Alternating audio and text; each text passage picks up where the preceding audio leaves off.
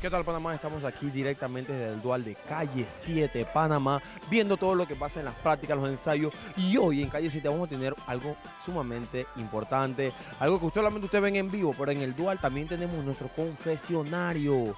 Vamos a ver qué piensan los chicos de los amarillos que están practicando, su capitán padre y todos ellos. Vamos a verlo, acompáñenme. ¿Qué tal? Estamos aquí. Sí, no te has equivocado, estás en el Dual de Calle 7.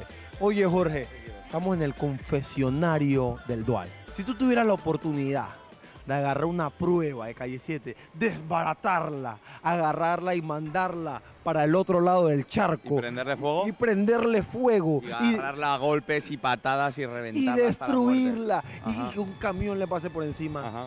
¿Qué prueba sería? La del arete ese, el martillo escondido. La, la- la palomilla esa, la tuerca, esa la, la quemaría.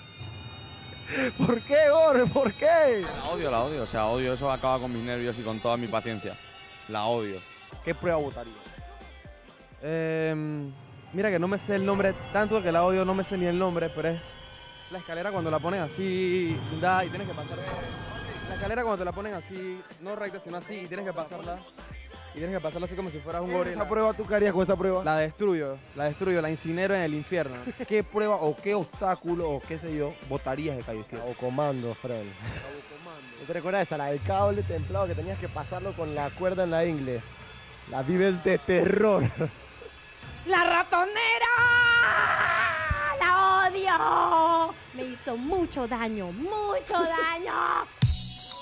Eh, Ay. Cucu, cucu, cucu, cucu, brr, brr. Y media hora, media hora después, Ya, yo siento que es hora de que quiten la jaula infernal. La ponen para todo. La escalera giratoria. ¡Quemarla! Destruirla. Destruirla, citriarla ahí en el vertedero del Cerro Patacón. Que no exista más nunca en la vida.